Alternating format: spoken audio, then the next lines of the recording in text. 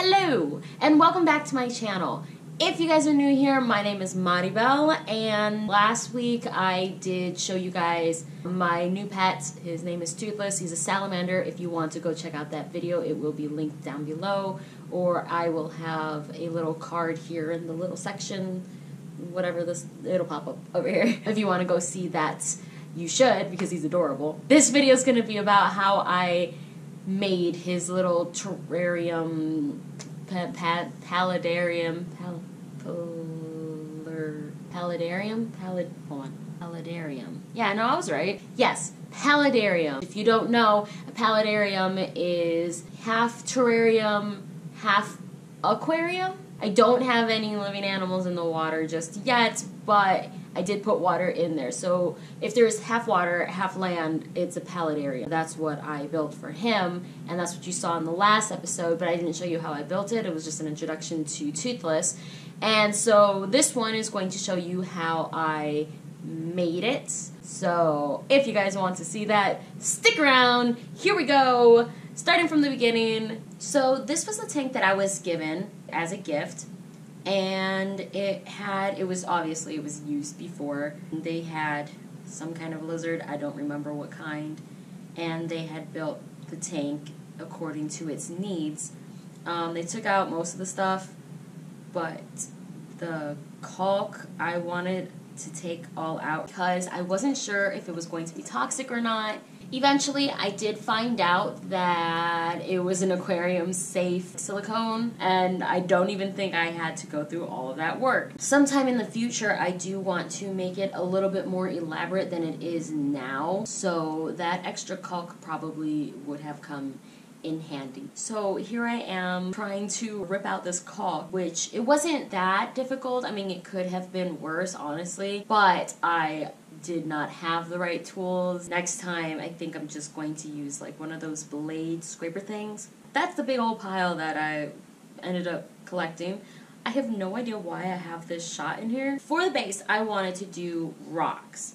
I was doing a lot of research and a lot of people put rocks on the bottom and then they would put the dirt on top of that and then they would decorate on top of that. So that's what I wanted to do. That way the water wasn't mixing too much with the soil, but there was still water going through to the soil. That way it was still moist. And then I had to put in this little plate. Well, I mean, technically I didn't have to, but I also watched someone else who built a tank for their salamander, and they had like a little dry spot just in case they wanted that option. So I decided to create a dry spot for him also. He never uses it.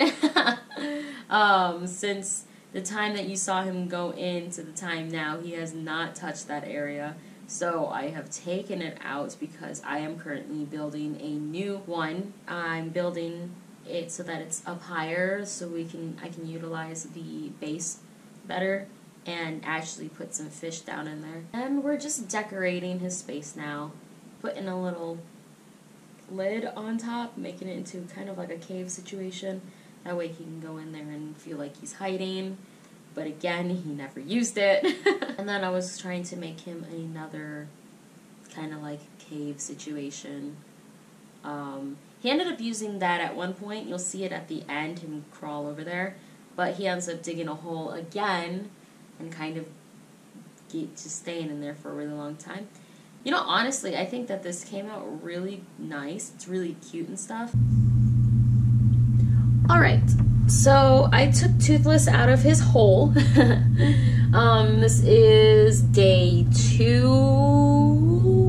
I think, of of him being in his um, little aquarium. I decided to take him out because I didn't want him hiding that well because it kind of just freaks me out. I don't know if he's still in there. I don't know what he's doing. I don't know if he's eating. Like I put food next to it, but you know, they're live. They're live worms. So maybe they're running away and hiding in the dirt. I have no idea. So I took him out. Um, where he's going right now is a different rock area that I have created for him. But I'm hoping that this one doesn't do or like this area doesn't doesn't doesn't hide him as well as the one before because like I said, I want to be able to keep an eye on him still. He really likes to hide. He will hide for a few days. Aw oh, man, I think he's digging. Dang it! But he really likes to hide, and he'll hide for a few days, and I just get worried and paranoid that he either got out or something ate him, because, you know, I have pets. I have other pets that can get in there. And I just, I just want to be able to keep an eye on my pet.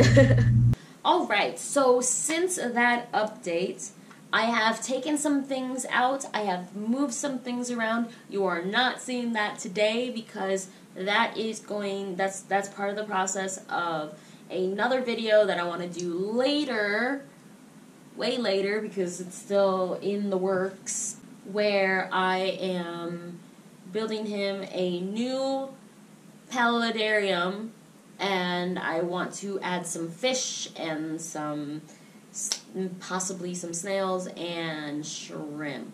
I, I kind of want to build it so that it's closer to him living outdoors. Anyways, that's really it. That's all I have for you guys today. I'm sorry it's not like a super exciting video. As I was putting this together, I realized there's not much happening. so hopefully maybe next week will be better. I'm hoping that next week I can get out the video on how I drew Toothless as like a little chibi salamander because he's friggin' adorable and he's got major big eyes. If you haven't seen it yet, it is on my Instagram. So follow me on there so you can see his cute little chibi face. well, hopefully you guys like this video. Give me a big thumbs up if you did. And subscribe to this channel. And I will see you guys next time. Bye.